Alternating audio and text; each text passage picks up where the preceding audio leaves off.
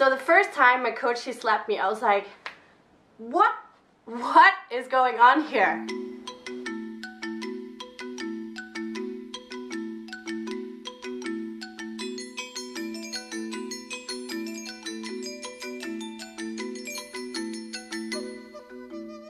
Hey guys, what's up? Welcome to another video from Lingling. How are you doing?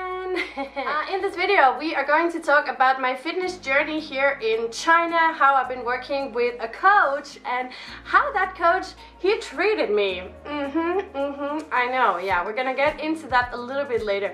First, just wanna say thank you to my follower, Ibin, for, you know, letting me stay in this amazing place he's renting this place for like a few days and then he was going somewhere else in China and he was like, my girl, if you want to stay here, you can just do that because I'm not going to be around. So yeah, do what you feel like. And I was like, oh my god, amazing. So I thought, why not shoot a video when I'm in this beautiful location with a great view and a great light, you know, great lighting. There we go. Anyways, yeah, so let's get into this video. Let me give you a little bit of information about my like fitness journey from before China. So I've always been a very active kid. I would do horseback riding and gymnastics and I would bike to the horses every single day and stay there for hours upon hours upon hours. But I would also eat a lot of things and also eat a lot of, we, we really loved ice cream in Denmark, in my hometown. So me and my sister, all pictures we have when we were young, were literally always eating ice cream. I was just an overweight child for a long time and then one day I started growing more and it kind of you know, kind of disappeared a little bit like the baby fat and I was also exercising more. After stopping my horseback riding activities, I started in a gym and I would do that together with my gymnastics and also ride, uh, sorry, not ride, uh, bike riding. And yeah, just always been really active and when I moved away from home, I also tried to stay healthy and blah, blah, blah. So fast forward a few years, I came to China, I started eating the Chinese food and I was like, oh my god, this is so unhealthy. Whoa and I didn't eat much so I was always very very tired no energy to exercise at all and I just felt bad bad fat and disgusting. I was not happy the first time around here. I was not happy with my body. It was just really bad.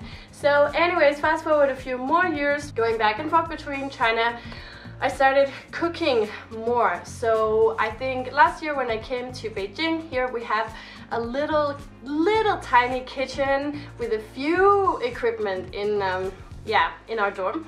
So I try to cook a little bit there. I'm really bad at cooking, so I literally just fry my chicken every single day, eat the same thing every day until I feel like vomiting just thinking about it. yeah, that's how bad my cooking. is. So when I came to my university here in Beijing, I signed up for the gym just across from the street. There are these like small Chinese guys who are standing outside our campus all the time at the subway station be like, hey, Manny, Manny, come here, gym, gym. And yeah, in the end I signed up for one and a half year. I got a really good deal.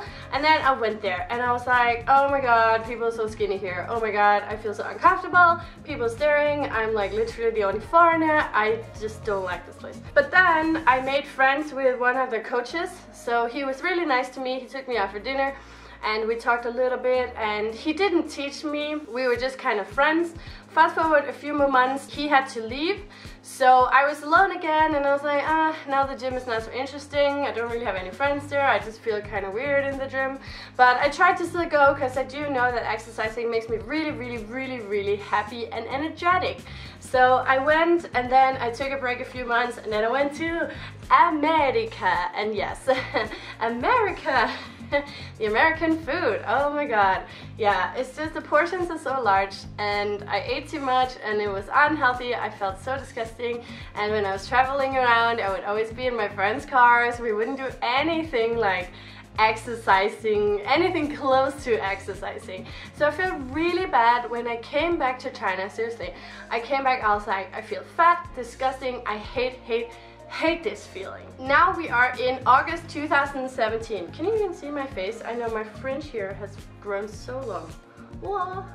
Yeah, so fast forward to August 17, came back to the gym, went into the gym, just started running, la la la, went down and did some other push-ups or something, and then this little Chinese coach, he came to me and like, hey, what are you doing? And I was like, I'm exercising, leave me alone. Like, I'm very much like that when I'm exercising. I just don't want to talk to anyone. I like listen to very loud music and I just don't care, you know, I'm just like in the zone.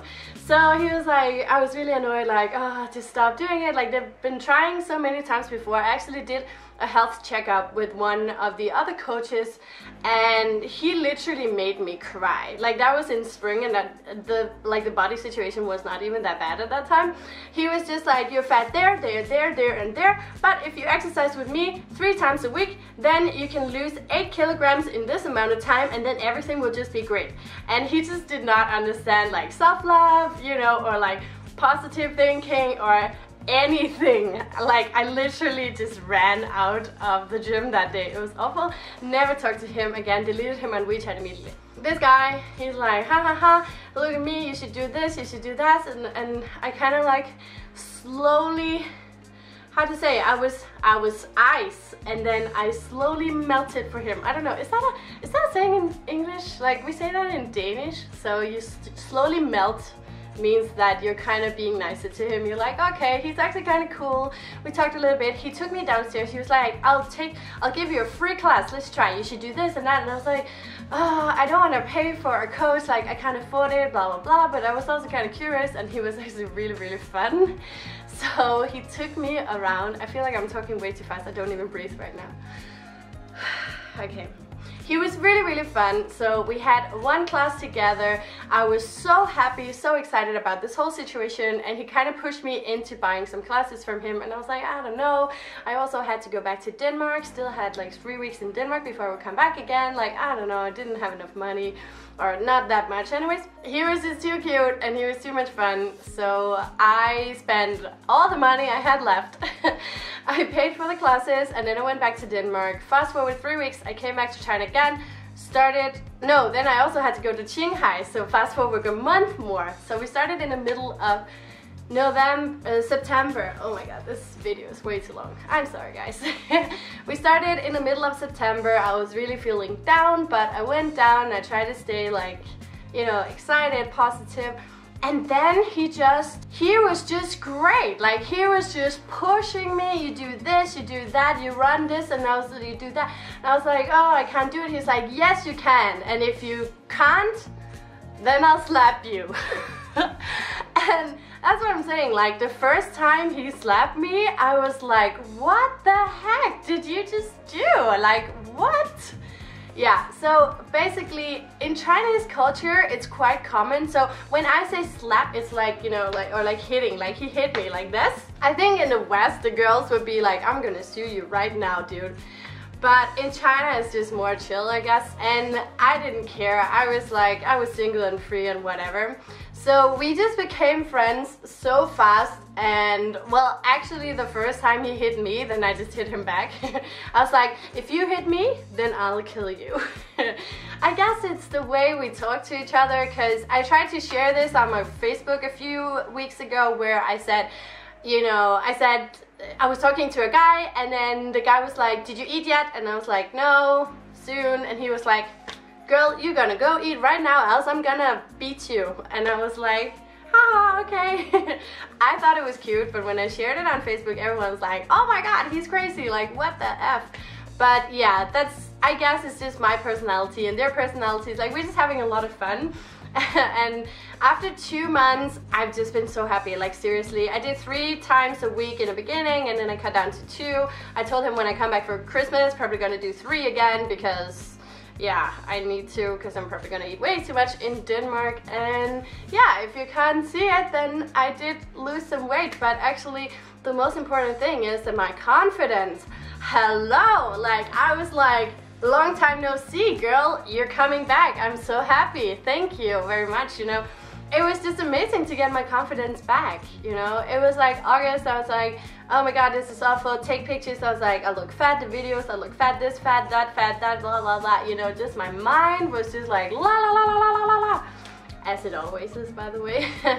but yeah, so now I just feel so freaking amazing. I'm like, I got a little less in my hips, I got a little less in my front and my back and there and there and I'm stronger. I'm stronger guys.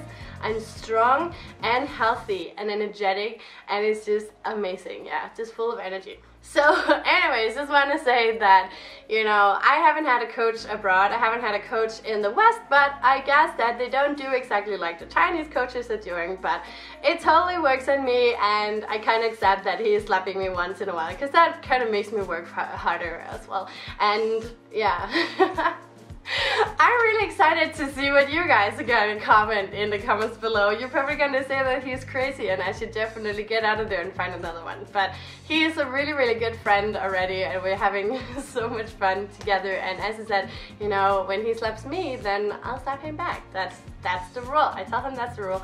And he also get the whole like, you cannot tell me I'm fat situation. I told him what happened before and he never says that, you know, he's just like, oh, you're strong. And I was like, yes, that's a good term. so yeah, anyways, let me know what you think in the comments below about this. Could you accept this? Could you not accept it? Is it totally crazy? Am I crazy? Probably. you know, it's just fun. It's just fun sarcasm and uh, I guess everyone is different, but I do really, really enjoy my gym time here. That was all for this video, my blah, blah, blah. I didn't talk to anyone today, so that's why I'm talking so much to you guys. Thank you so much always for all of your support. You know that I love you. And yes please check out my Instagram stories Lena Around Facebook Lena Around Patreon Lena Around. And yeah I'm still fixing my book. It's gonna be ready for next year so get excited stay tuned and I'll see you soon. Lena is out see ya and 再见